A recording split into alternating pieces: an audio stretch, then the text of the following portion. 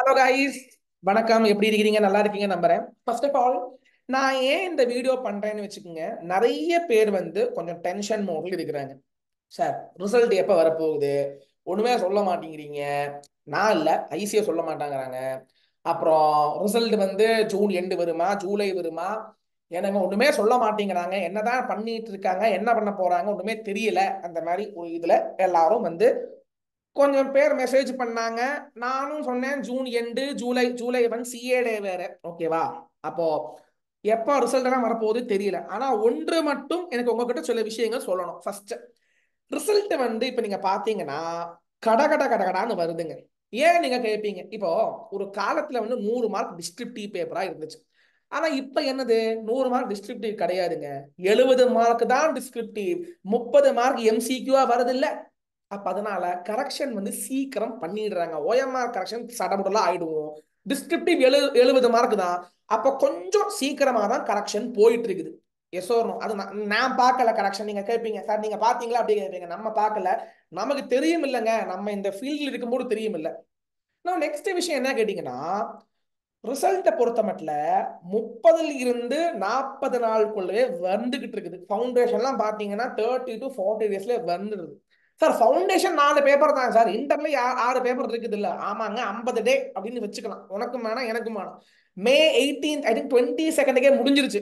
Yes no so June end தான் ஒரு ஆப்டான date இப்போ ஒரு சின்னதா ஒரு விஷயம் என்னது? பரபரப்பா போயிட்டு இருக்குன்னு வச்சீங்கன்னா நம்ம ஐசிஏஐ டாட் என்ஐசி டாட் ஐஎன்னு சர்ச் பண்ணீங்கன்னா உங்களுக்கு தெரியும் ரிசல்ட் வர ஏரியா அந்த ரிசல்ட் வர ஏரியால ப்ரீவியஸ் அட்டம்ப்டுடைய ரிசல்ட் எல்லாம் டிலீட் பண்ணிட்டு please frequently visit visit the ICA website to be updated about the results அப்படின்னு வந்திருக்குது அப்படின்னா என்னன்னா சீக்கிரமாக ரிசல்ட் வரப்போகுது. ஒரு ஒரு வாரம் ஒரு பத்து நாள் வெயிட் பண்ணுங்க. அதெல்லாம் அதோடைய இம்ப்ளைடான மீனிங் இப்போ உங்ககிட்ட நான் ஒரு விஷயம் சொல்லணும்.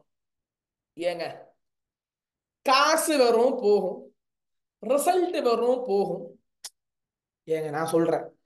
இது வந்து காமன் சைக்கலாஜிக்கல் நல்லா எழுதினாலும் நல்லா எழுதலையானாலும் நிறைய பேருக்கு ரொம்ப என்ன சொல்றது? டென்ஷனாக தான் நீங்க இருப்பீங்க வித் ரெஸ்பெக்ட் ரிசல்ட் எல்லாம் எழுதி முடிச்சாச்சு. இப்ப ஆலோசனை பண்ணி ஒண்ணுமே இல்லை.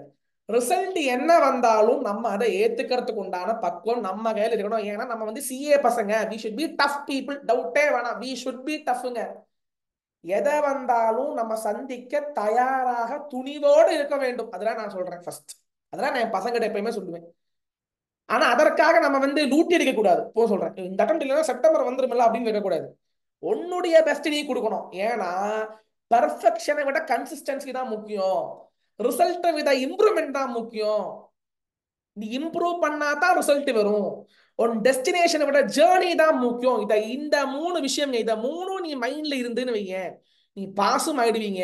அட் த சேம் டைம் உங்களுக்கு உங்களுக்கு கான்ஃபிடன்ஸும் இருக்கும். என்னது மூணு விஷயம்? இந்த மூணு விஷயம் உங்க லைஃப்ல வேணுங்க பர்ஃபெக்ஷனை தேடி போகாதீங்க. கன்சிஸ்டன்சியா போங்க. பர்ஃபெக்ஷன் நம்மளை தேடி விரும்புங்க நம்மளை தேடி விரும்புங்க பர்ஃபெக்ஷன் இம்ப்ரூவ் பண்ணுங்க டெய்லி டெய்லி அந்த ஏங்க சிஏ வந்து ஈஸியெல்லாம் கிடையாதுங்க. ரொம்ப சிரமமான விஷயம் தான் நான் இப்பவும் சொல்றேன். ஏன்னா மூணு அட்டம் வருது. ரிசல்ட்டும் நம்ம கொஞ்சம் கம்மி பண்ண போறாங்க அப்படின்னு சொல்றாங்க. எனக்கு தெரியாது. நான் இதை பத்தி எல்லாம் சொல்லக்கூடாது யூடியூப்ல எனக்கு தெரியாது. நிறைய பேர் பேசுவாங்கல்ல சிஏ நிறைய பேர் தெரியும் பேசுவாங்கல்ல. I should not tell all these things in this public forum but I'm just telling you so CA வந்து இப்போ சொல்றேன் அதான் ஈஸி விஷயம் கிடையாது. நம்ம அதுக்காக துணிவா உட்காரணும். டிட்டர்மினேஷனோட இருந்தா மட்டும்தான் பண்ண முடியும் பாஸ் பண்ண முடியும். ஈஸியான விஷயம் எல்லாம் கிடையாது. ஏன்னா பாஸ் பண்ணி வந்தவங்க நல்லா கஷ்டப்பட்டுட்டு தான் இங்க வந்து இருக்கிறோம் நாங்க. The chartered accountants the entire chartered accountants fraternity is sitting here after a lot of hard work so what I would like to tell you is don't worry about result இந்த ரிசல்ட் நல்லா இருந்துச்சா? Fantastic தான் all the best super go to articleship, to SPOM to finals result மோசமா வந்துருச்சா? பிரச்சனையே இல்லைங்க. கொஞ்சம் இதை இப்பவே சொல்லிடுறோம் உங்ககிட்ட. ரிசல்ட் நீங்க நினைச்சா மாதிரி வரலைன்னா ஒண்ணு பண்ணுங்க. ஃபர்ஸ்ட் விஷயம் நீங்க என்ன பண்ணணும்னு கேட்டீங்கன்னா ஆர்டிஐயில் இருந்து you have to take the copies of the exam papers then what you do analyse தப்பு எங்க போச்சு? இப்போ நிறைய பேர் இருக்கிறாங்க. சார் செத்து போனா நீங்க எதுக்கு போஸ்ட்மார்ட்டம் பண்றீங்க? அப்படின்னு நிறைய பேர் கேட்பீங்க.